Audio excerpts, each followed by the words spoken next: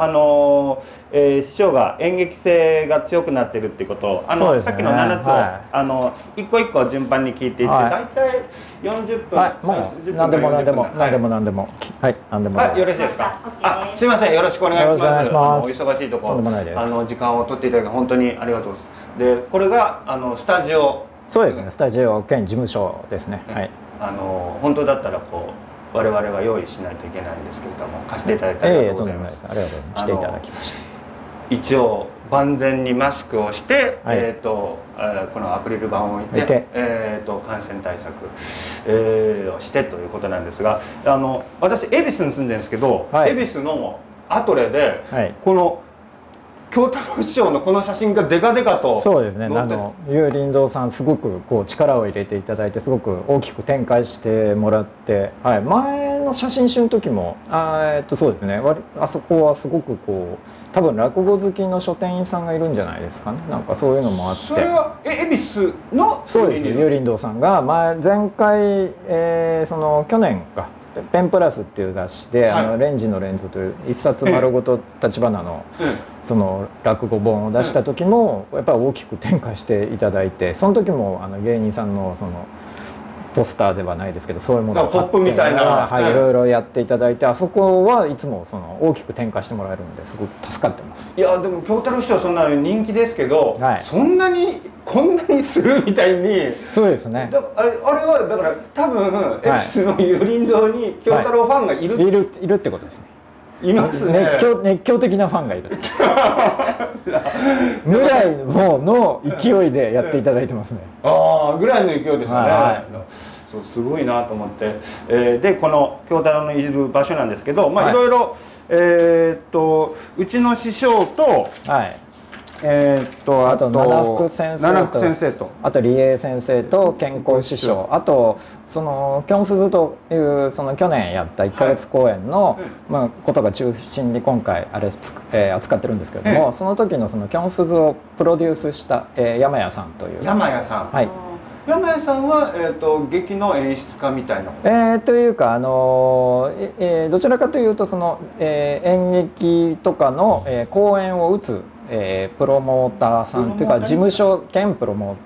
ターですかね。それでまああの京太郎師匠はお芝居の方でも、まあ、出られてるのでそういう関係もあってあとで京太郎師匠の会をっていうことで1か月公演はい。じゃあこのイベントのプロデューサーみたいな。でそうですね、えー、っていうかまあいろんな公演をプロデュースしている、えー、主催しているって感じですかね、はあ、その方のも今回そのお話に加わっていただいたとでこれ読んで、はい、あの私すごい家にも落語の本がいっぱいあって、はい、その読むのが好きなんですけども、はい、なんかこうやっぱ売れるためにちょっとこう一般の人がもう手に取りやすいみたいになってるんですけどこれすごいディープで、はい、であのこの間も伺ったんですけど聞き手がその瓦版のそうですね。やはりその聞き手が落語のことを詳しくないとやっぱりこう話掘り下げられないとこもあるので、うん、えー、今回その東京瓦版の編集長の佐藤さんに、えー、インタビュアーというかそのお話を聞く時のまとめ役に、うん、はい、なってもらって。だからすごいもうかかゆいところに手が届くってなんかこうやっぱり雑誌とかでインタビューされても、はい、なんかすごい向こう側に知識がないともうなんでそんなことをわざ、ね、基本的なことまで聞いちゃうけれども、今回はまあそういうことは全くなかったので非常にスムーズだったしその文章がこうゲラが上がってきた時もやはりちゃんとなんかこうそういうところもきちんとフォローされてるので、はい、そこはもう安心感がありましたけど。そういう本をあの有林堂の恵比寿の有林堂の人を前面に置く、はい、そうですそう。ですね、ディープな本、だからこあの今回もその、はい、えー、これを買ってくださる、えー、方も多分その落語好きだとか、えー、ちょっとこう深い話が、えー、聞きたいと。そうですね、やっぱりあの、えー入門書ではないので今回は、はい、もうあくまでその京太郎師匠の魅力というそれこがまあ一番大きかったのでだからやはりその聞き手もそうですし多分買っていただいた見ていただいてるお客様も多分その落語にそれなりに知識のある方だとは思いますけどよく本で、はい、あのセンスとの使い方とか あのそういうのが入ってる本がよくあるので、はい、まあだからそれはいろんな出版物によってそのターゲットは違うと思うんですけれども、うん、今回はもう本当に京太郎師匠のその去年やったキョンスズっていう1ヶ月公演を中心に写真集としてまとめたいと。ただそのうん僕としてはその写真だけ並べてよりもやはり読み物としての面白さっていうのもやっぱり欲しかったのでだから読んでも楽しいあと写真見ても楽しめると両方っていうのがあったので今回はそのいろんな方に芸人さん含めてあといろんな方に話を聞いてっていうことですかね。これ去年の何月？えっ、と公演は去年の11月ですね。11月の1日から30日までもうびっちり1か月公演ですね。はい。僕その京太郎師匠と思い出といえば、はい、あれどう亀有かなんかで、はい、亀有じゃないか大宮かなすっごいでっかいホールで私前座で呼んでいただいて、えー、太平京太郎だったんですよ。はい、であの僕がもうやってたらなんかもう僕からしたら太平師匠とかあすみません。太平師匠とか京太郎師匠って怖いんですよ。もうめちゃくちゃ怖い存在で、えー、であの小吉って太平師匠に言われてあの京ちゃんにねあの俺花見小僧やるって言ってって「あ分かりました」っつってあの京太郎師匠が入ってこられたら「ああの太平師匠があの花見小僧をあのやられるそうです」あっつって楽屋をもう入ってく来なくていいよみたいな感じで楽屋を責められた閉められたんです、で、まあ、お茶だけ持っていったらもうずっとノートにこ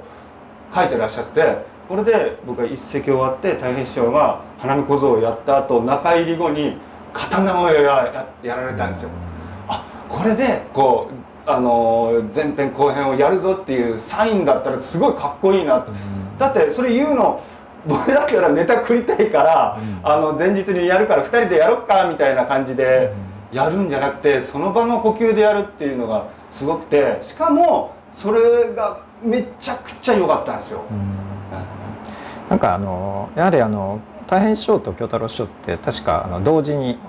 2人で真打ちに上がられてるし、その例えば、えーと撮影で言えばいろんな場所に行くんですけどあの権太郎師匠と京太あの三京師匠の会とか、やはりそのもうお互いに気心知れていていい意味でのライバルでもあるし仲間でもあるしっていう関係性の時ってやはりそこをなんか変にこうなんだろう言葉を交わすよりもお互いに芸でその語り合うみたいなやっぱりそういうかっこよさってのはありますよね。だから多分今の話を聞いていてそういうことなのかなとは思いますけれどもその余計なことは言わないでそのネタ要は太平師匠のネタを聞いてそれに対して自分がどう答えていくかっていうその芸でのやり取りみたいな。そこでの会話みたいな感じがかっこいいですよね。なんか今おっしゃったことってこの本のなんか中心的なテーマみたいな、はい、えー、ことでもありますもんね。うん、うんでそのそれが刀が良かったから私あの刀習うんだったら京太郎師匠で絶対生涯のうちにあの、身につけたいなと思ってたらあの後輩で翔陽ってやつがいて、はい、でが「え習いましたよ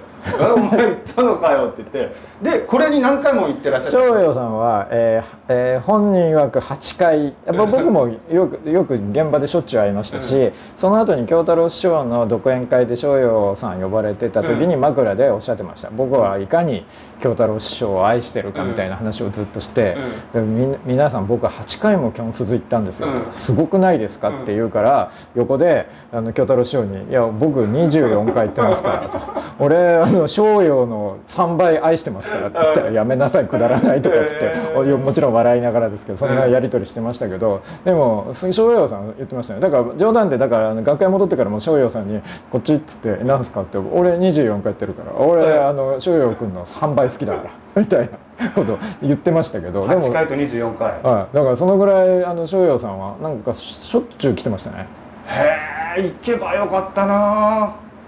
ああじゃあ京太郎師匠好きなんですね。うん大好きみたいですね、はい、でも24回っていうのもすごいですね。いや本当だったら30回全部行きたかったんですけど、まあ、それはまあ自分別の撮影とかもあってちょっと地方に行かなきゃその時行かないけないのもあ、こともあって行けなかったんですけどでも本当にその毎日行ってても本当幸せでしたね。本当もうまあ今ではもう本当こんな状況で考えられないんですけども、うん、まあ鈴なりすごい狭いじゃないですか。でも本当にそこにお客様びっしり毎日札止めになってあの本当にお隣のお客様と本当に肩が触れるぐらいの、もう本当に狭いところにみんなぎゅっと詰まってもう本当に聞き入るというそれを毎日繰り返していて本当にそれは僕も幸せでしたけども、はい、あれキャパどれぐらいですか？どのぐらいあるんですかね。え100人100 100ちょっとぐらい。あそそそんなに入りましたっけ？100いかないか、うん、ただパイプ椅子をギチギチに詰めてたので、どのぐらい入れたんですかね。だから通路とかにももう入れてたので。もう一回座って奥の方座ったらトイレも行けないんじゃないですかあれ。っていうぐらいしかもなんかね所用さんみたいなこう勉強に来るやつもいるしだからまあ楽屋裏といっても狭いんで、だからもう居場所もなかなかないですけど、うん、でもそれでももうお客さんあの最終日かなあの茶沢通りまあ鈴なりがあるところですけど茶沢通りずっとそ外に何十メートルも行列できてましたからね。だから抽選でしたんで、あのいわゆる当日券は抽選だったんですよそんなに当日券はい、もうもうもうすごい人気で、はい、当日券も何枚かしか出ないんですけど、もういわゆるあの前売りでほぼ売れてますからいわゆる補助席のその当日券を求めるお客様で本当最終的にはその抽選するお客様がもうずっと何十メートルも茶沢通りに並んでましたね。あすごいな。なんか僕の会なんかそんなもっとオープンにしてるけどそんな行列できたことないですけどあのうちの師匠が出た会はどんな感じだったんですかね？そうですね。あのそのその中にもう書いてあるのかないのか僕どこかであのあそうだ。あの演者さんのやつは書いてないんだ、うん、でもゲストのやつは。そうですね、はい、ただあのその時にあの今日、えーと、ごめんなさい。翔太師匠がおっしゃったことですごく印象に残ってるのはその、うん、それを言う言える翔太師匠もかっこいいなと思ったんですけど、うん、その発想力とか、うん、そのまあ、センス技術いろんなものを含めてその総合力で言ったら多分この年代では京太郎君が一番だっておっしゃったんですよ。だからそのやはり僕やっぱりなんだろう同業者が認めるって一番すごいことじゃないですか。だってなかなかやっぱり同業者ってライバル心もあるだろうしいろんな思いもあるからなかなかすごいと思ってもそれを口に出しづらいとこもあるじゃないですか。でもそれをちゃんとこう言える翔太師匠も素晴らしいんですけどやっぱりそのそういうトップクラスの師匠がいや今ナンバーワンって認めるってすごい。だから京太郎師匠のことをそういうふうにおっしゃってるのはすごく僕印象に残ってますね。いやなんかこの中で佐藤さんが、はい、あのなんかそんなライバル心を持ったりしてなんかギクシャクすることないんですか？みたいな質問があるんですよこの本の中に、は。い、でうちの師匠はそれ答えてないんですよ、うん、だからそれは師匠らしいなと思って。だからそのなんだろうな。もちろん同業者であればやはりこうなんだろう、うん、負けたくないとかって絶対あるんですよ。きっと。あそれは仲やおかしいですけど、うん、ただやはりその、うん、ここのここはこの人すごいなって素直に思うところもやはり一流じゃないですか。だからどちらも一流なんだなっていうのはその時考えか思いましたよね。だからなんかこう負けたくない気持ちはあっても俺は絶対認めないじゃなくて、うん、すごいとこはすごいって言えるそのお互いに認め合えるところっていうのもお互いにそのそれぞれがトップクラスってことですよね。トップであるってことじゃないですかね。ねあの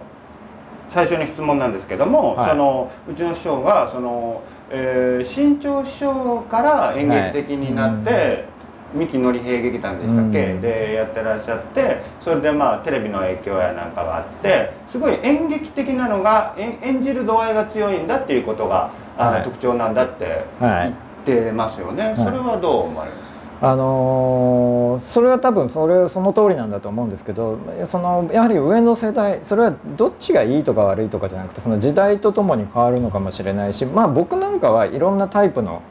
あの美学を持ったいろんなタイプのあの落語家さんがいていいと思うんですけども昔はやはりどっちかというとお話を聞かせる落語っていうのは、まあ、よくだから話家っていう、落語家っていうか話家っていうかって、まあ、別にどちらも同じことなんですけどただその上下を振ってお話を聞かせるっていう今それまではえー、のが主流だったんだでしょうけども今先ほど言ったようにその新潮師匠以降そのなんだろうその演者がその役に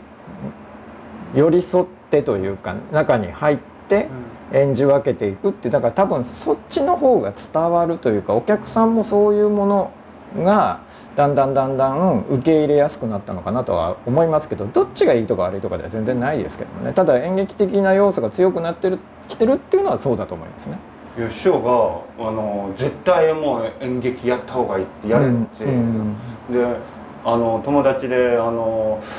えーと、インプロインプロビゼーションインプロをやってる人がいて即興劇やってる人がいてそれちょっと誘われて「あ絶対やった方がいい」って言って本当になんか自身もすごいあの演劇をやってますけど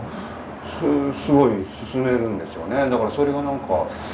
ポイントのようなだから自分で思うよりももっと演じた方が分かりやすいのかなっていう、うん、だからそれはその人のその表現の仕方伝え方とかあとまあ考え方いろいろあると思うんですけど例えばこう名前出しちゃったらです僕すごく親しくさせていただいてますけど例えば三座師匠なんかは三座師匠から聞いた話ですごく印象に残ってるのは僕はそのあの薄い膜みたいなのがあって。その向こうに情景が見えていてその様子を喋ってるだけだっていう言い方をするんですよ。だからそれはもう今言ったみたいに自分がその役になって何かをするっていうのとは真逆でしょ？だから考え方としてだからそれはさっき言ったみたいに情景を語って聞かせるお話をしているっていう表現の仕方もあれば今言ってたその演劇的にその役になって自分が入り込んで要は演じ分けるっていうのとやっぱり多分そこはちょっと違うのかもしれない。どっちがいいではなくてやっぱその芸人さんによってだと思いますけどね。あまあいろんなこう演じる姿勢とか哲学の違いがあってこう見る人はそうそう感覚が違って面白いのかもしれない、そうですね。だからさっき見たみたいにこういろんな人がいていろんな考え方での人がい,、るから僕はいろんな人がいる方が豊かだと思う人なのでこうあらねばならないとか落語ってこういうもんだからとかこうだからっていうよりもいろんな人がいてそれで豊かになると思ってますんでだからその考え方もなんか人それぞれですよねだから、うん、サンタ師匠なんか演じてるっていうよりも今本人も先ほど言ったみたいに情景を喋ってるっていうような言い方をしてますよね。でその僕が初めてレンジさんにお会いしたのは、はい、あのホンダとか、はい、とかの、えー、土建会に取りに来られてて、はい、で僕も前座でもう最初のところめちゃくちゃ怒られててそれであの何かあった時にね、勉強してなきゃいけないし何かあった時って言って こう見てたんですよ。そしたら後で「ねね視界の入るところにいるんじゃねえ」ってめちゃくちゃ怒られたんですけどもうなんかよくいろんなとこで僕は上機嫌に生きるって 言ってる全然上機嫌じゃないなと思ったんですけど。であれですごいその視界に入るなって言ってるのにそれで撮ってらっしゃってで僕も撮っていただいたことある。全然分かんないっていうのはあれはどういうことなんですか？あのそれはあのさっきのあの芸人さんのにとっての考え方っていうのと一緒で写真家も多分その人のその考え方みたいなのがあると思うんですけど僕はあの園芸写真家なので何もないところから例えばこう例えば風景とかこう何かこう何でもそうなんだけど何にもないところから何か絵を生み出すというよりもそのあくまで被写体はその芸人さんなわけですよね。でそれを撮るのが園芸写真家なんだけれどもどっちが主体かって言ったら当然写真撮るためにその日の講座があるわけじゃないじゃないですか。お客さんのためもしくももとしもうあとは演じてる演者さんのためにあるわけですよ。その空間っていうか。だから絶対にその集中を削るようなことを園芸写真家っていうのはしてはいけないっていうのが僕の考え方なので。だから状況によっては今日は撮らない方がいいってジャッジした時は撮らないで帰ることもあります。それはその演者さんがあんまり調子が良くないなとか。ちょっとすごくこうナーバスになってる時とかはなるだけこう取らないように。だからなるだけその取ろうと思うのではなくてなるだけ取らないようにしたい。取らないで取りたいみたいな部分があるのでだからうんもう格好ももともとはこんなこんな今日もそうですけどもう年がら年中あの真夏でも何でも黒しか着ないんですけどもともとはこんなではなかったんですけどやはりその僕は袖から取るのでやはりその着てるものもやっぱり白っぽいものを着るとそのそれそれこそ先ほど言ったように視界に入っちゃうし例えば今みたいな時期も例えばマスクも普段はあの家とか家からこう事務所に通う時とか普通に白いマスクしてますけど、まあ、今は黒をしてますけどこれは撮影する時にはやはりその白いマスクは目立つとかそういうふうにしてやっぱりとにかく演者さんのことを最大限考える。だから気がつかないでいてくれるぐらいがちょうどいいだからあの前も言ったかもしれないですけど翔太師匠に「その立花君あの戦国時代だったらいい忍者になれたよね」って言われたのはそれは本当に自分にとってはもう最大の褒め言葉ですよね。いつ撮ってるんだこの人はっていうふうに思われてるっていうのは非常に僕にとってはありがたかったですよね。なんか師匠らしいですよね。戦国時代で例えるみたいな。そうですね。お城好きなんで で以前ななんかどっかでお会いした時に伺ったのは、はい、その落語がいっぱい中いる中でうちの師匠が一番なんか講座が綺麗だっていう。そうですね。講座姿はもうそれはもうあの僕が言うのもおこがましいですけどもう本当に同業それこそその、えー、この世界でその講座姿が美しいって定評のある例えば談春師匠とかも昔からそのあの翔太兄さんはものすごく講座姿が綺麗だってもう本当にあのトッププロが認めるぐらい綺麗ですよね。それはあの僕袖から撮ってるとそれはすごく感じるのはやはりそのよく言うスポーツでも何でもそうですけど腰から下はすごくこう落ちてるというか動かない。こうグラグラしないんですよ。このいわゆる中心線みたいなのが。だからその安定の仕方って本当にえー、ででも翔太師匠って動きが割と大きい話とかが多いから、うん、なるなるだけこう、うん、見てると分かんないんですけど、はい、でもあの中心線が動かない出るで所作は大きく動いても基本のそこの、えー、講座姿が安定してる人はお客さんはみんな集中できるんですよ。その物語に入れるんですよ。こうなんか腰腰の下からこうぐらぐら動いてやってる人ってやっぱりなんかなんか落ち着かないんですよ見てる方も聞いてる方も。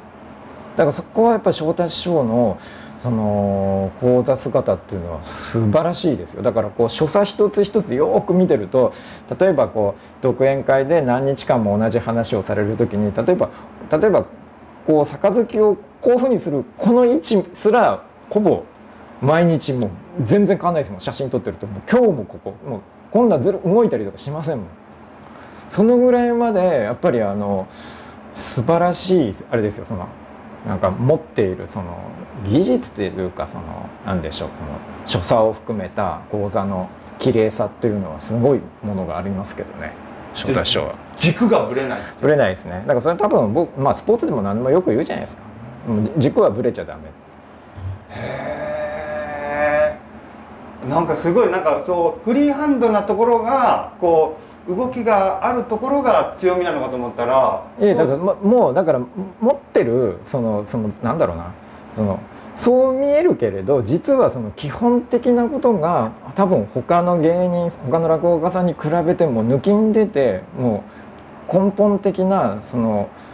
えー、講座の綺麗さというかその技術とかそういうものがものすごくある上でのそのフリーなあれなんじゃないですかね。あのいわゆる表現力みたいなものもあるんじゃないですかね。だから勝手にただ適当に面白おかしいことをやってるんじゃなくてまず基本的なことがのレベルが高いからこそいわゆる遊びも効くみたいなところがあるんじゃないですかね。であの2つ目に、はい、あの七不食師匠のところで、はい、その古典この鈴なりでも古典と、えー、新作両方やられてますけど、はい、まああの、えー写真家として、はい、その古典と新作を演じてる師匠にってどう思われますか？えー、っとどう思うまあ僕はあの落語においては僕の中ではですけど新作だからとか古典だからっていう差はないんですよね。結局その人がその時にこう表現する上で新作の方がよりお客様に届くというか伝えられる古典の方が今日のこの感じでは古典の方がお客様にとかっていう多分その違いだけだと思うんですけれどもよくよく考えると古典と新作両方ハイレベルな芸人あの落語家さんって多分翔太師匠志の輔師匠京太郎師匠なんですよやっぱこの3人は両方ハイレベルなんですよね。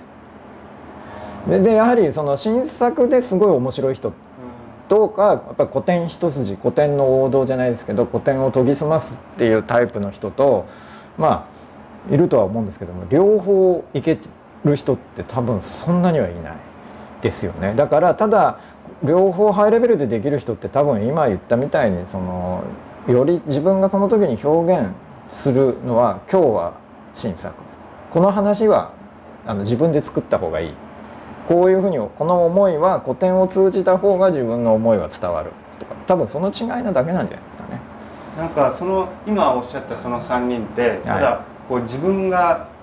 えー、これをやりたいっていうメッセージと今日お客さんだからこんなやつをやろうっていう両方のバランスが持ってるみたいなそうですねだから思うところは多分あいろいろその時に思うそのいわゆる今の世の中とか今が自分が置かれた状況いろんなことを見聞きして自分が経験したことで今伝えたいことがあると。でその時に伝えるにあたり古典を通じて古典というフィルターを通した方がお客様に今自分が伝えたいことが伝わる。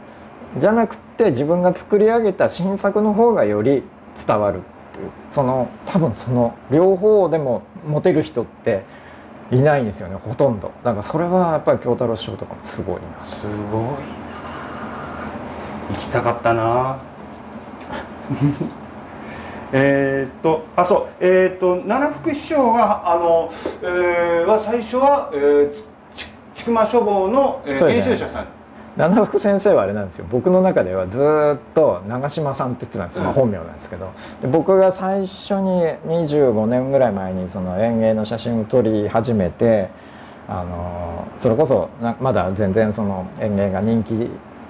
今みたいに人気になる前ですけどあの撮りためた写真をこう出版社に売り込みに自分で電話かけて行ってた時に、えー、千曲書房にも連絡してこういうものですって言って写真を持ってった時にいた人が七福先生なんですよ。なんか僕のそれでその時はもちろんその普通ただの編集者ただの編集者の長嶋さんだったんです芸人さんでは全然なかったんです。でそれからしばらくして芸の世界に入ってこられてで今こう人気の浪曲師さんになられたのでだからうんいまだにだからあの七福先生と会うと不思議だよねとは言います。だからあの時に僕は演芸写真家としては駆け出し。で七福先生はまだその編集者さんだったのに今はこう例えば七福先生がやる大きな会の僕撮影とかに行ったりとかするなんていうことになるとなんかなんかそのちょっと縁を感じるというか、感慨深いものはありますよねやはりね。筑前書房って落語関係の本いっぱい出してそうですね。割と出していましたけどはい。でだからそれ編集者にななるってぐらいだから落語が好きで京太郎師匠がめちゃくちゃ好きなんですよね。そうですね。それはここ数年知ったことですけどね。あそうなんですか？そうね。あの何年か前にあのじ2015年ぐらいから自分でもこう落語会プロデュースとかさせてもらってるんですけどで京太郎師匠のあのトリビュートみたいな会も以前やったことがあってそこに七福先生出ていただいたりとかしてもう大好きなんだなっていうのは伝わりましたねその頃からね。だからそれまではあんまりそのあんまりそこまではあの知らなかったですけどね。だからその演劇関係の人が仕事をしたがるっていうのもあって、たんですけど、その出版関係の人にも人気。あ多いです多いです。僕もだから知り合いのその編集者でさんで京太郎ファンが一番多いんじゃないかな。いわゆる落語好きの人は。落語好きの編集者さんはもう特に女性。あの新聞記者の人とかもあのよく京太郎師匠が好きなんですって、うん、だから特にね僕はだから女性編集者は今考えるとほとんど京太郎師匠って言ってるなそういえば。そうそれなんかしななんかあるんだと思いますね。そうですね。なんかなんかあのそれはあのその中ではね理恵先生も言ってますけど、はい、あのいわゆるあの男性なんだけど女性性みたいなところがあるんですよ。女性っぽいというかだからよく僕も自分もそういうところがあるんであれなんですけどあの見た目おじさんだけど中身おばちゃんみたいなそういうだからなんかこう女性がなんか分かる分かるっていうような僕なんかあのものすごくこう小説とかを読むんですよ。でも僕好きな作家さんってほとんど女性作家なんですよ。だからなんかこう女性の書いた本の方がなんかこう僕は好きなんです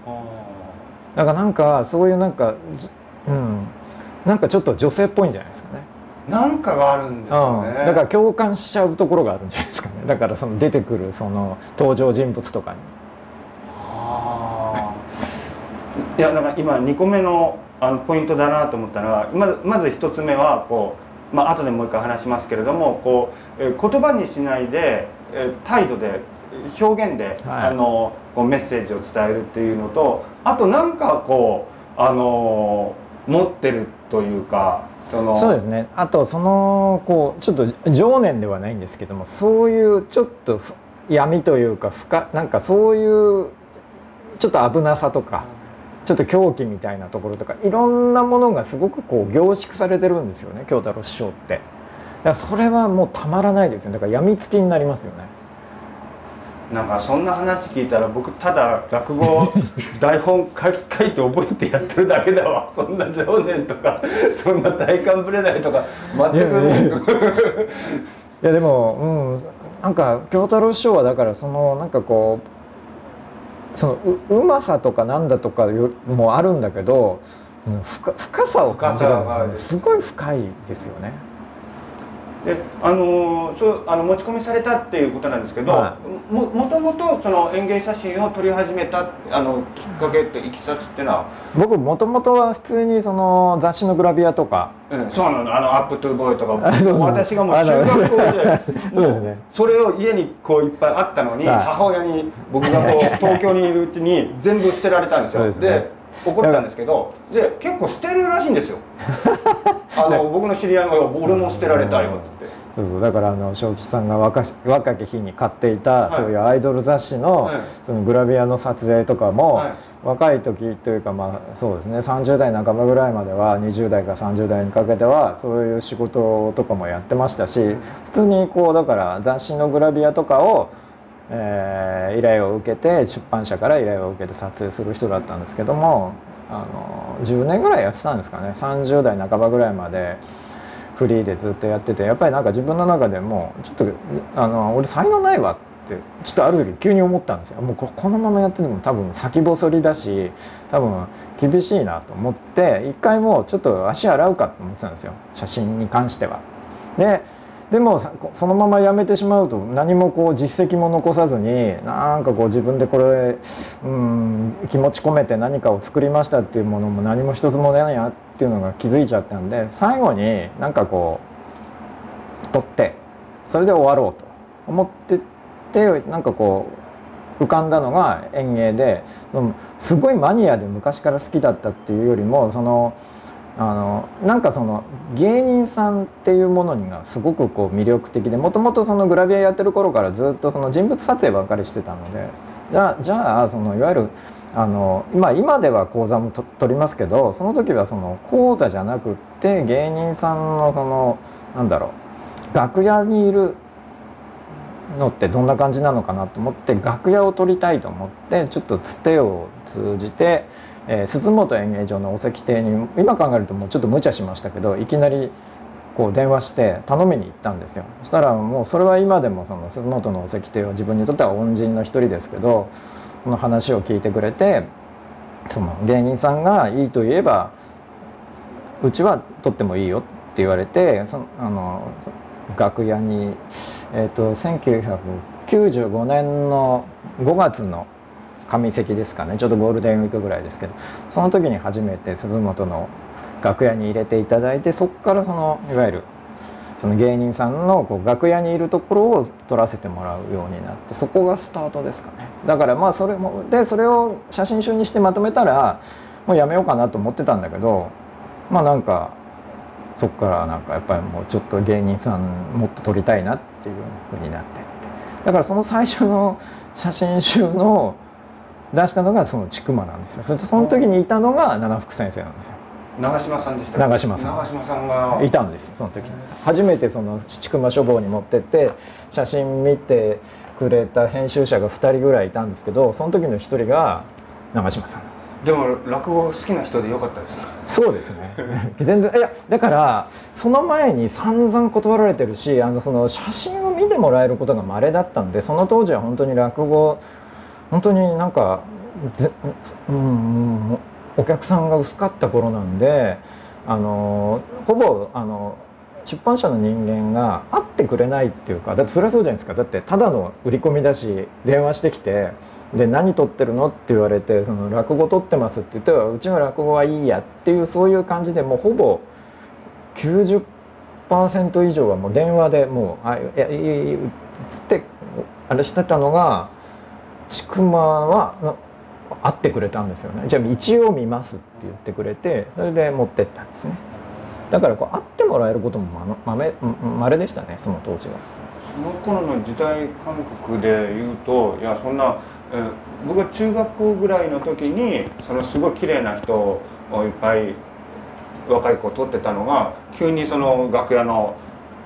芸人撮るようになってでその時多分平成の時に与太郎があってそれがちょっと終わって僕は高校生ぐらいなんで。えーと、男子師匠は僕ちょっとよくあのテレビで田舎でも見てたんですけどそれ以外はあんまりほとんどだからちょうど今さっきあの名前で出たあの三座師匠がすごくこう今では一番こうなんかこう気心が知れてるというか仲のいい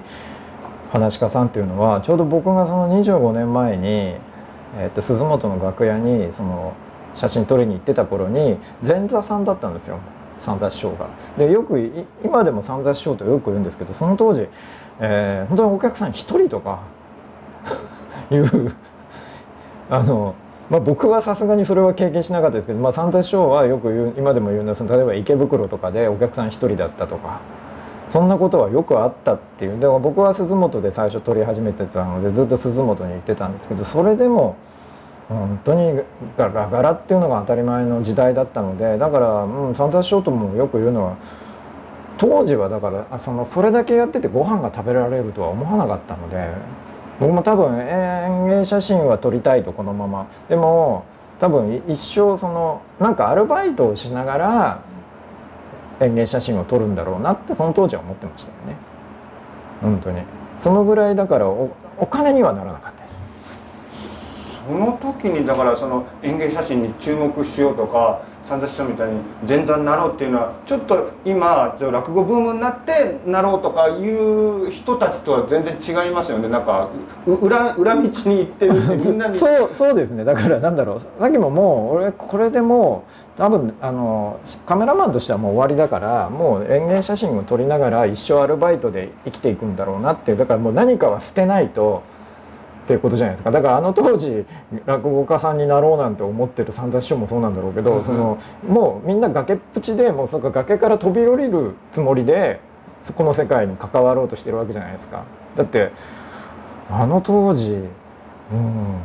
うんいや本当に落演芸に関わっててあの普通にご飯食べれるとかあとまずこうやってありがたいことにこうやって本が出るようになってなると思ってなかったですかね。こんな普通に今大型書店行くとあの古典芸能では落語の棚が一番広くなってるぐらいじゃないですか。昔はその当時は落語のその出版物自体が少なかったですし古典芸能の棚行くと大体他の歌舞伎とかそういうものがメインだったですけど今はもう落語の本が一番多いですからね。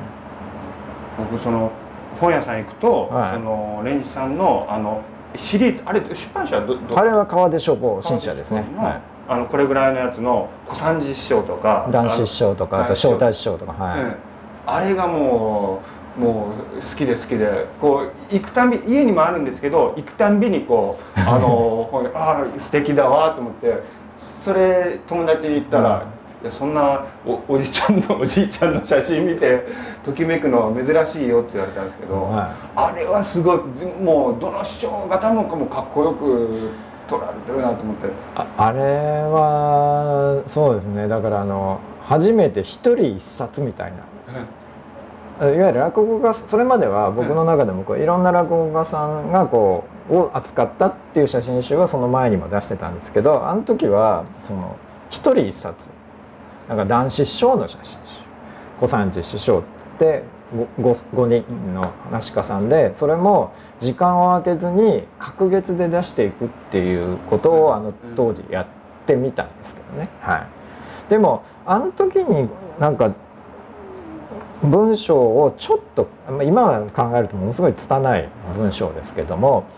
その時にちょっと文章を書いたんですね。でそれが多分きっかけになって今は例えば自分でこう連載とかあの新聞とかそのいろんなものでちょっと連載させてもらって写真と文章とかまあその京太郎師匠の本もそうですしここずっと何年間かは自分の写真集の文章って自分でも自分で書くようになったのはその今おっしゃったその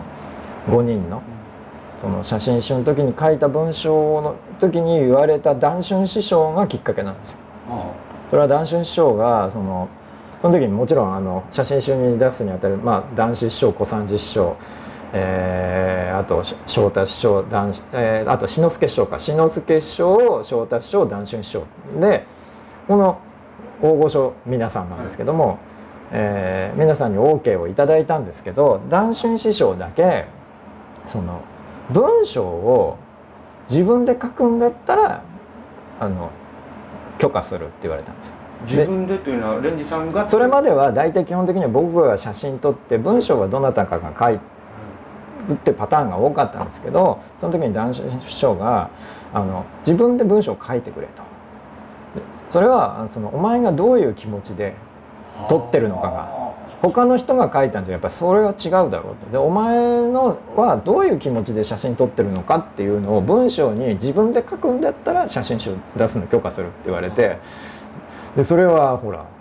あの書かないわけにいかないじゃないですか。その時はまあ厳しいで俺文章苦手だと思ってましたけどでもそれは書かざるを得ないんででまあそこで本当に今考えると本当に拙い文章ですけど何ページか書いてっていうのがきっかけになってそれ以降の写真集はもう全部自分で文章を書くようになったんです。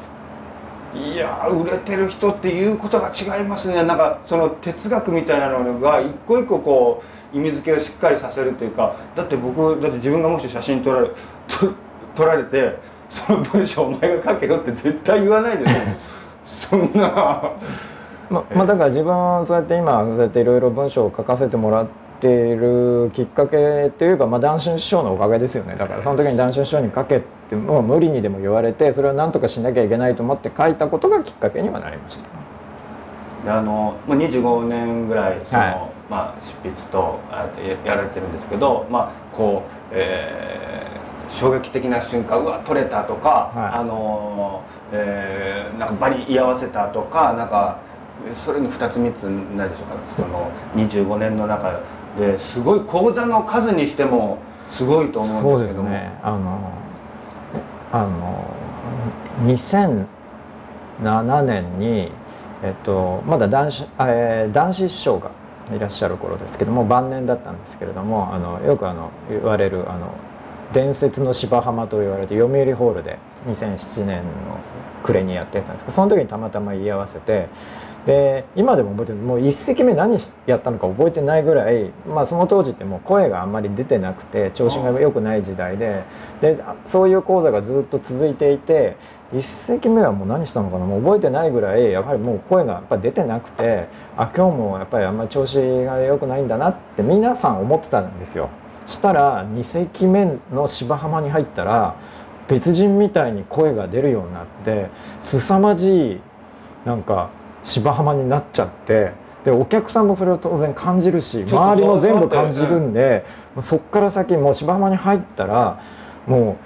う初めて経験しましたよね。あの満席なのに無人なんじゃないかお客さん入れてないんじゃないかっていうぐらいもう何ていうんですかこう咳払いがしないところどころじゃなくてこう姿勢も少しもずらさないっていうかもうみんなもう動かないお客さんもっていうかここをちょっとでもその空気を乱したら大変なことになるってお客さんも思ったんじゃないですか。ででもう当然僕まあ普段撮影する時はもう消音カバーっつって少しはまあシャッター音が小さくなるようなものをつけてますけどでもそれだって完全に消えるわけでは無音になるわけではないのでもう絶対押せないわけですよ。でもうこれ今日撮れないなってずっと思ってたんですけどあのうんと最後にえー、男子師匠のその芝浜っておかみさんがすごくこうえー、っと、えー、ちょっと叫ぶというあのいわゆるこうなんていうのかな割とこう情熱的なおかみさんだから、はいはい、要は最後捨てないでくれっていうちょっと叫ぶところがあって。でそこは声を張るからそこだったらシャッターのちょっとぐらいのやつは乗せられると思ってそこまでずっと取らないでいたし僕もこうずっと動かないでいました、うん、動かなかったですね。で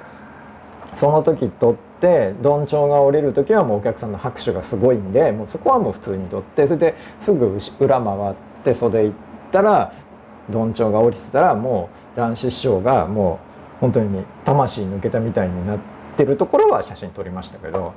で一回どんちょうを上げてお客様にその時はそのあの今日はそのなんか自分の中でもこう降りてきた。いわゆる落語の神様が降りてきたみたいなことをおっしゃってだからその時はたまたま居合わせたっていうのはそれはすごく印象に残ってますね。2007年というと、はい、僕が今から13年前ですからちょうど入門したぐらいで、はい、で、えー、前座やってて、はい、一回なんか、えー、余市会かなんかの前座やった時に、はい、あの談春師匠が鳥ででたまたまその談師匠がいらっしゃったんですよ。うん、これであの男子師匠のあの上着、はい、あのかかけててそれで「おい前座、はい、お前インシュリン取れ」って言われたんですね。でもうほとんど声、ま、で出なかったですよね、ねうん、インシュリン取れって。糖尿病なのインシュリン、はい、であなき分かんなくて、それでみんなピキーンとしてないんですね。それであどうしようかなと思ってこうお茶出したらお茶じゃねインシュリンだって言ってインシュリンそこうやってボールペンだ。あボールペンだ。インシュリンだ。でその時にめくりが、あのもうプログラムもないのに「男子」っていうめくり出したら客がダーンと浮いて「あの男子ですこういう顔です」って言って。でもそんなに晩年で声出ない時によくそんなあの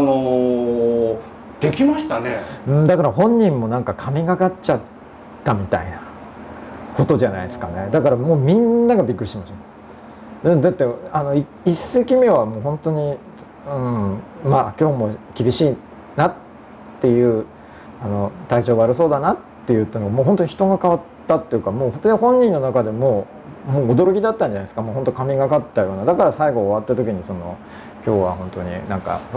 こうそうやって降りてきたみたいなことをおっしゃったのはそうなんじゃないですかね。そんなちょっと奇跡的なことにたまたま僕行ってた時にまあそれって音源誰か取ってくれてるのかな？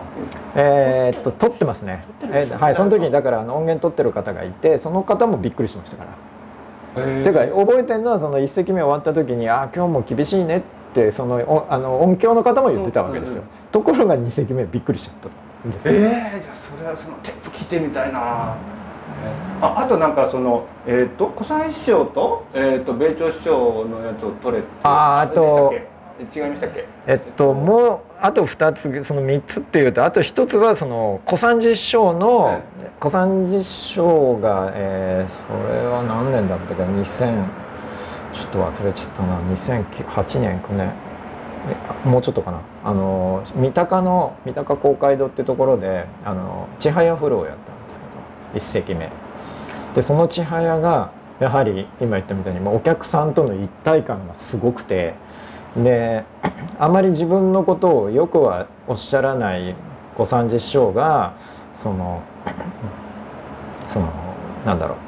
まあその後のになってからですけどあれが小三治の落語の完成形だっ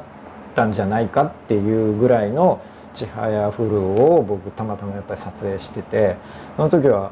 本当にもう何でしょう2席目は逆に1席目の千早がすごすぎて本人ももうあれ以上の落語できないんでごめんなさいって言って2席目はもう落語やらなかったぐらいの1席目の千早がすごかったですね。だから本人の体調とその今までやってきた蓄積とお客さんととの一体感そうなんかそういう時ってあるんですよね。僕はもうプレイヤーじゃないから多分どんなに何十年写真撮っててもその感覚はもう永久にわからないと思ってもちろん撮ってますけどでもやっぱりプレイヤーの方にはそれはやっぱりわかるんでしょうねそういう時ってね。そのそれって、はい、あの写真にもその凄さって残るもんなんですか？えー、残ってくれたらいいと思いますけど。そう思って撮ってはいますけど。ただそれはまあその写真を見た人がどう思うかって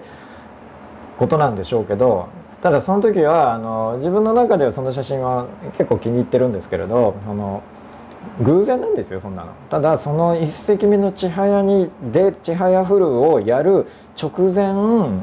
あの袖の姿見に写ってる、はい、小三治師匠の写真をたまたま撮ってたんですけどだからやっぱり、うん、だから今考えるとそれは自分はその場にいたからですけどこの後にその千早古声がやったんだっていうちょっと思い入れはありますよね。え僕知らないだけかもしれないんですけど、はい、なんか今言ったみたいなこの、えー、三鷹公会堂で高校で、はい、それでの前の写真ですみたいな解説付きの写真集って出されてないんですか？ないですけどまあこあのキャプションでつける時はありますけどその自分の出した写真集の中でそのはい。なんかそのエピソード集みたいなのが写真あったら僕ファンとしてめっちゃ読みたいです。ああそれはちょっと面白いですね。面白いですね。楽しいちょっと楽しいですね。うん、はい。でですね。えっと三つ目は？三つ目はあの、それは週刊朝日という雑誌のあのカラーのグラビアだったんですけど、それはあの米朝師匠がまだいらっしゃる頃ですけど、米朝師匠と小三治師匠の、えー、取り下ろしっていうのがあったんですよ。でそれを楽屋であの確か相模原のホールなんですけれども、えー、っと一席えっと、中取が米朝師匠で鳥が小三治師匠だったんです。でその中入りの中取り終わった米朝師匠が終わったところで中入りの間に楽屋で2人をこうツーショットの写真を撮るっていうのがまあちょっと気分悪くなるぐらい緊張しましたよね。講座をやってるところは撮るんではなくて2人面と向かって撮るって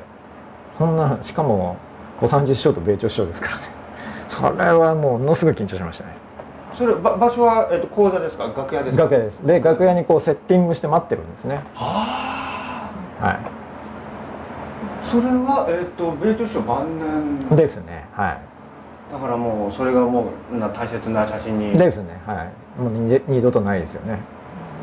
その後小三治師匠も国宝人間国宝なられてますけどから今考えたら今見たら2人国宝が並んでるわけですからね。えそれなんですか？もう手が震えるとかなんかこう体硬くなるとか。いやなんでしょう。あのあんまりこうなんだろう。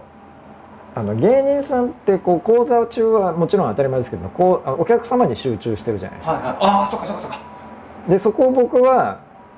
その人の雰囲気をなんとか切り取ろうという作業じゃないですかでもこう面と向かってっていうのは例えばこう2人でいてもうちょっとこうしてください、うん、あのこの間ほら、はいはい、将棋さんがったらもう気持ちこっち来てください、はい、こっち来てってそれを2人に対して指示しながら取るのってやっぱものすごいこう負荷が圧があと無言の圧っていうかあるじゃないですか、うん、見られてるっていうのもあるし。でなんかあの僕はやっぱりこう小三治師匠っていまだに緊張しますから、男子師匠は割とこう晩年最初はすごく近寄りがたかったんですよ。でずっとこう撮らせてもらっててもこう挨拶に行ってもほとんど一別するだけだったんですよ。こうやって「おはようございます」ってもこう何も言わなかったんですよ。でもほぼ相手にされてないなと思ったんですけどその当時からその写真はプリントしていつもこう次行く時に渡してたんですよね。ただそれは今でも覚えてるんですけど2006年もう今亡くなっちゃった吉祥寺にある前進座っていう劇場で一問会をやった時に初めて僕名前で呼んでもらったことがあるんですよ。であの終わった後に「おい立花」って言うからびっくりしちゃって初めて名前で呼んでもらったからってすぐ言ったら「あのお前もう好きにしていいよ」と。でいつ来ても撮らせてやるって言ってそっからはもう何でもこうどこ行ってでもこういろんな話してくれて写真撮らせてくれて楽屋でもどこでも撮らせてもらえるようになったんですね。だから割と晩年はもうそうなって以降はうん地方とか行くとなんか映画の話してくれたりとかなんかいろんななんかバカ話とか雑談もなんかすごく楽しくしてたんですけどやっぱり小三治師匠なんかいまだに緊張しますね。あじゃあ男子賞はなんかある一定の敷地をだからそこまではずっと見てて、うん、こいつどういう写真撮るんだどういうあれなんだっていうのをずっと見てたんじゃないですか。でもこいついいや OK だってなったらもう割と普通ですよね。普通っていうかなんかむしろこういろんな話してもらいますけど。今小三治賞やっぱなんか緊張しますね。そこまで飛びこう入っていくのがすごいなと思うんですけど。で次あのこの中で一つ、はい、あのレンジさんのプ会にプロデュースもされてますけども、はい、それもぜひここにあのえっ、ー、とあの満喫師匠のやつここにあれこれからですよね？これからです。十、はい、月の二十五日はい、ここに、はい、あので、はい、今それの宣伝も出ます。で、えっ、ー、と健康師匠がその。えー、京都の師匠の凄さを語ってるってそれがこの一個もう一つの、あの、えー、これの肝だなと思ったんですが、それはなんか俺は落語が好きだっていうのを言う人が多いけどもそうじゃなくてもうそれを全部こう表現に昇華してるみたいなところが、その佐藤さんもそれを言語化京都の人の凄さを言語化したのがすごいですねって書いてらっしゃいましたよね。なんかもう聞いてると健康師匠の場合もうファンですよね。うん、もう本当にあの同業者でもあるんですけどファンでもうなんか本人もちらりと言ってましたけども炎症師匠とかみたいな感じでもうちょっと向こう側の人ぐらいの、うん。憧れ方っていうか大好きっていうのがもう伝わりますよね。もう好きすぎちゃってみたいな、はい、だから好きすぎちゃうんであの近づかないみたいな。だからあの別のところでやってるみたいな感じですよね。だからえそそうなんですか？いやぐらい好きじゃないですか。だって好きな人ってあんまり近くに行っちゃうとあの逆に緊張してちゃうじゃないですか、でもなんかだからなんか円楽島で健康師匠やられててであの京太郎師匠は落語教落教じゃないですか。だからちょっとそれで今はまあ落語教育委員会で一緒にやったりとかこう一緒の会に出たりとかだから程よい距離感でなんかやってますよね。やっぱり好きな人ってなんかずっと一緒にいたりとかあんまりこう例えば兄弟弟子とかなっちゃったらちょっとなんか困りません？いやあのそのよくなんか僕は落語好きですとか寄席が好きですとか、こう師匠が好きですとかこ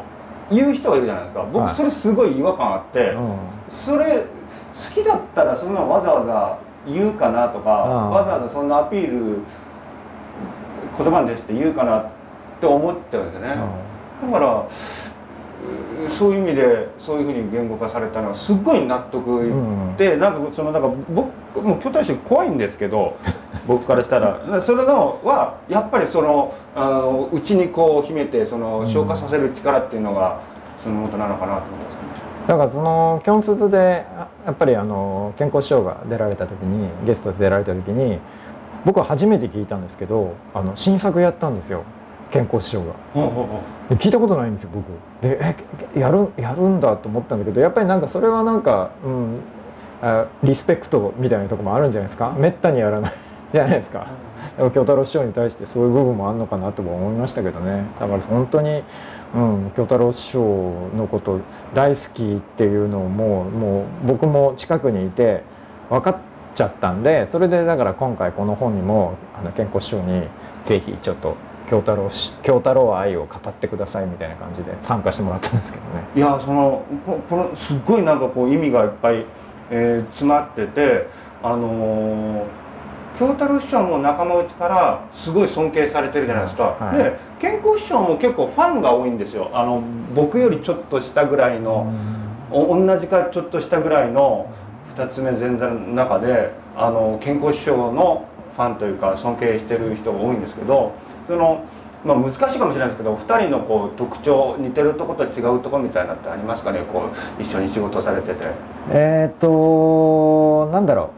う。まずあの健康師匠も京太郎師匠も共通してるのかもしれないんですけれどもこうすごくこうなんだろうなクールですよね。クールうん、要はすごく客観的にものを見れますよね。だからこうやってる時はものすごくあの集中というかこうなん集中っていうんじゃないんだよなんかこう入り込むんだけれどでもこうもののかんちゃんとそれをちゃんと自分で客観的に見れてますよね。俯瞰で見れてますよね。自分自身のことをね。そういった意味ではすごくこう自分とのその表現者である自分とのその距離の取り方みたいのがお二人ともすごいバランスがいいなと思いますよね。だからこう熱くなりすぎてもうもう自分の中ではやりきったけれどいまいち伝わらないじゃなくってちゃんとこう集中しながらゾーンに入ってるんだけどそれをちゃんと自分の中で客観的に見れてるなこの2人はっていうのはすごく感じますよね。うん、なんか僕だったらなんか集中してる自分もいて客観客観的にこう、はい、プロデュースする2人のこう人格がバランスがいいっていう意味だ思うんですけど、はい、僕だったらもうこれしかないからなんか人に聞いちゃうんですよね。人に聞いちゃっていやそうじゃないんだけどな。ああそうそうと今。だからもう一人そそうですね。ただそれはもういろんなジャンルの方、まあ、撮影とかでこう会ったりとかした時にそれはやっぱりこう何の世界でもやっぱりトップクラスでずっと長年やってらっしゃる、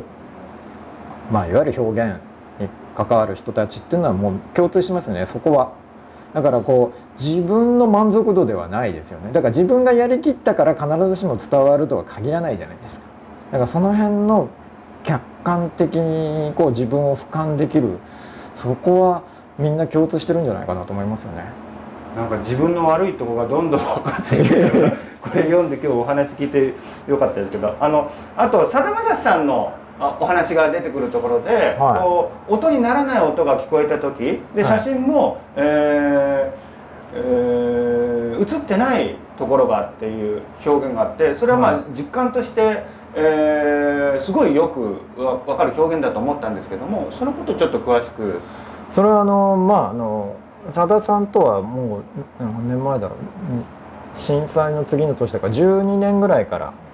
お付き合いというか撮影で何回も撮影させていただいてるんですけどまあなんかあの撮影の合間に話することがあってでまあ僕はまあずっとその写真ってそのいわゆるスチールの写真は特にそうですけど映像じゃないんで結局その写真と写真の間をいかにあの想像できるかっていうことを考えてるのでさっきも言ったけど別に映ってなくてもいいんですよ。極端な話本人要はただ所作だけを取るのではなくってそんな所作よりももっと言ってしまえば後ろ姿でも例えば脱いだ羽織でもその人らしさというかその人のこう空気感っていうのは想像させられるかどうかだと写真は思ってるのでまあ生意気なんですけどそのさださんといろんなちょっと話をした時にいや自分はその写真撮る時はそのいわゆる写ってないところが大事だと思って撮ってますみたいな話をしたらそのさださんが「いや音楽もそうなんだよ」その要は聞こえてる音よりも聞こえてない音の方が大事だから。で聞こえてない音がその聞こえたというか感じられたらお客さんは感動するんだよ。っていうことをおっしゃっててそれがすごく自分の中では印象に残ってるんですあの私俳句をやるんですね、はい、俳句も言葉で表現したところにあと余白があって全部言っちゃうんじゃなくて、はい、余白があってえー、なそこが謎になってて、はい、そこにこう言ってることよりも言ってないところによってこう人間の脳ってこうう、ね、えー、想像するのかなと思って、はいはい、それに似てるなと思って。そうですね。だからそれはその本の中にも少し書いたのかな。あの理恵先生との話の中にも出てきてるかもしれませんけれどもその佐田さんに関してもまあ京太郎師匠に関してもそうなんですけども結局何かを伝える時に言うことが大事なんじゃなくていかに要は言わないことの方が大事なんです。今言ってみたいにこう出すんじゃなくて言いたかったけど言わないことの方が実は大事だったりとかするんですよ。僕はこう思ってますこうですじゃなくてこう思っている。でもこれは言わないっていうことがこの言った言葉にちょっと感じられるかどうかだから。だからそこはやっぱりうんあの佐田さんに関してもそうですし京太郎師匠に関してもやっぱそれは思いますよね。だから昔ほらあのあの同じようなことをあの例えばあの小津安二郎さん小津小津安二郎監督が言ってるじゃないですか。大事なのは映ってないことだから。大事なのはことは見せちゃいけないみたいなこと。みんな同じようなこと言ってますよね。だからそこに気づいてますよね。だからこ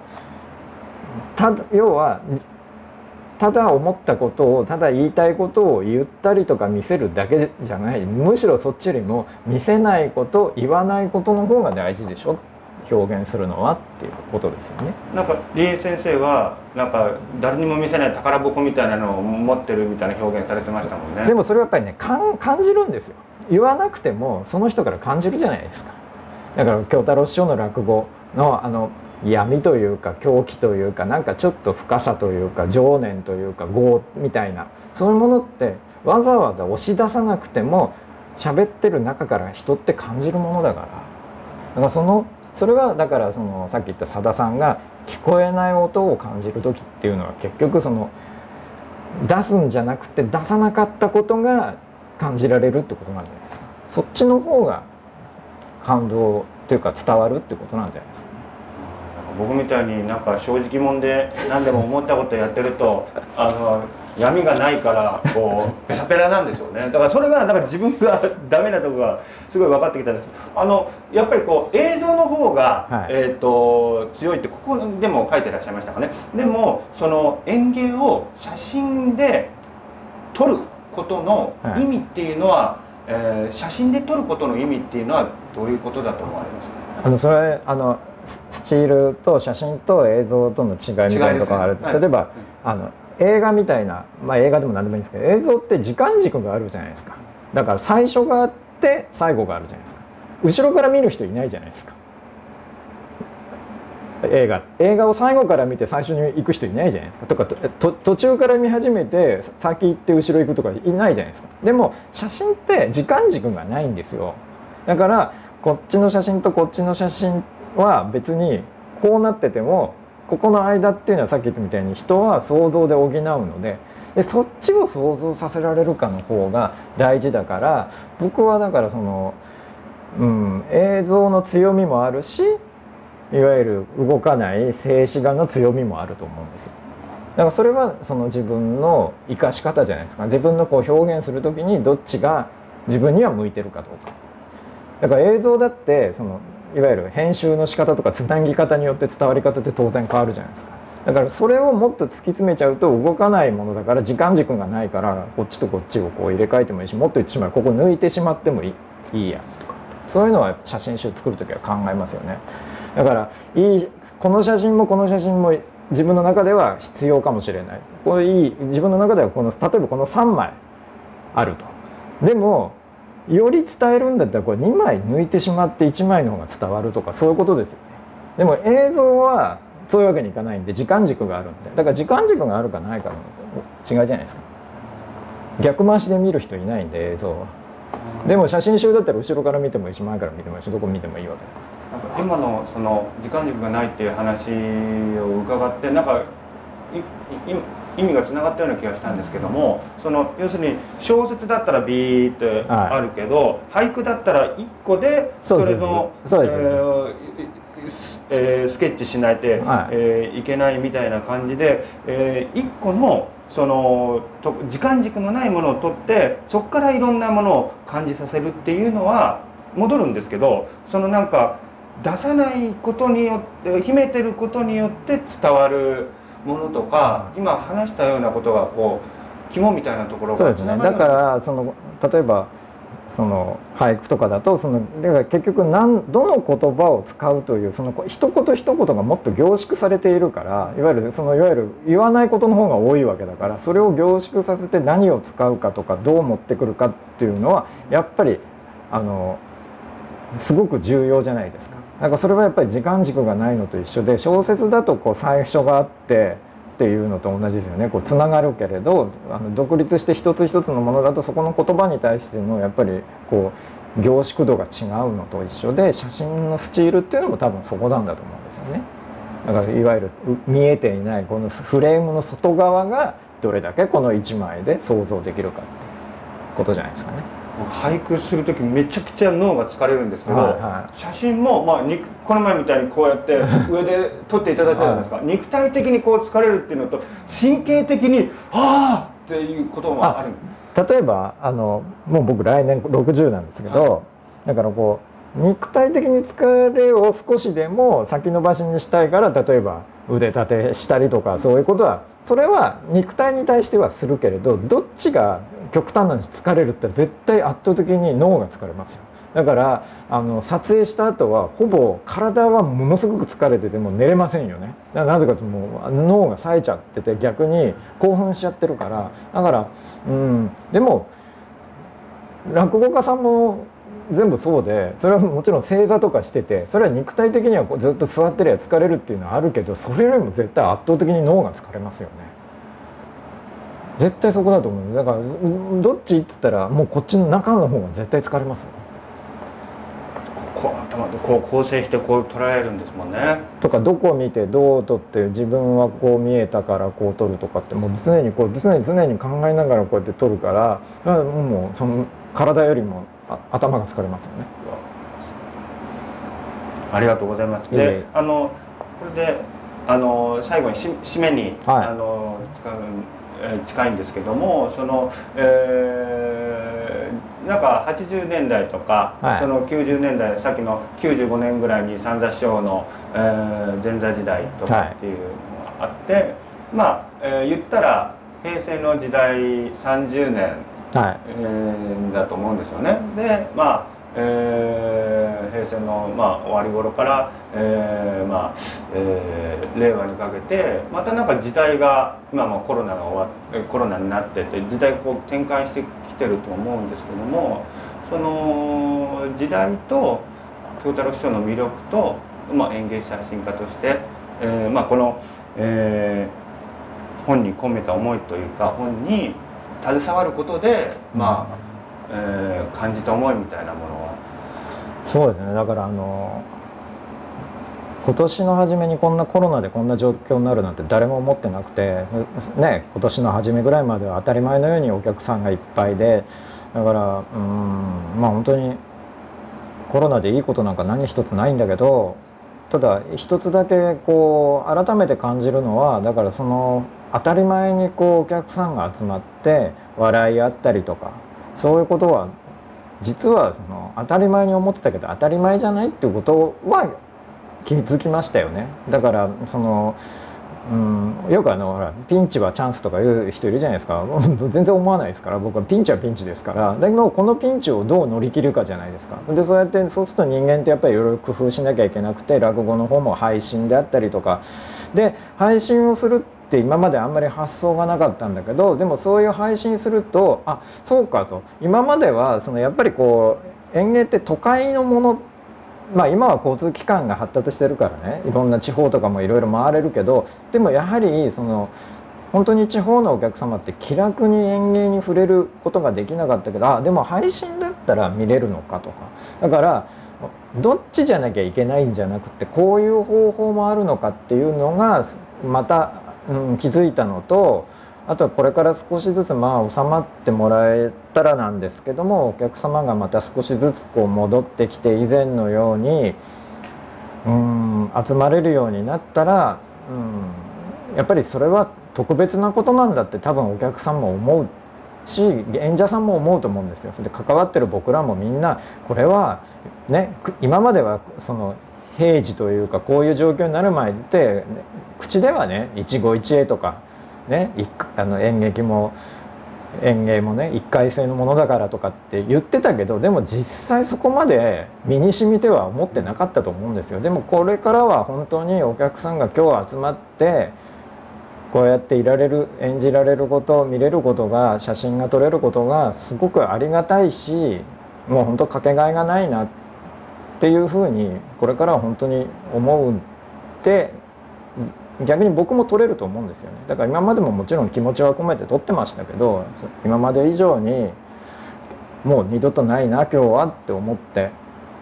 取るんじゃないですかね。だからそこはこれから少しこう意識は随分皆さん変わっていくんじゃないですかね、うん、だからその真摯な態度というかそのあのですよね。まさに京太郎師匠って落語に対して真摯だっていう、うん、そうですね、あものすごくこう、うん、落本当に落語好きなんだな。本当に落語愛というかもう全身落語愛に溢れてますよね。うん、で、うん、やっぱり京太郎師匠は本当になんかこうそれは翔太師匠も共通してるんだけどすごい理不尽なことでねこう声を荒げたりすることなんか一度も見たことないですしそのやはりその、うん、芸に対してもこう人に対してもすごくこう謙虚で素晴らしいなそこはもう僕が大好きなところですよね。はいありがとうございます。今日はすごい自分がダメなところと、いえいえあのやっぱその何をおっしゃいます？あのあの凄さがすごい身に染みております。ありがとうございました。ありがとうございました。すいません。ありがとうございました。en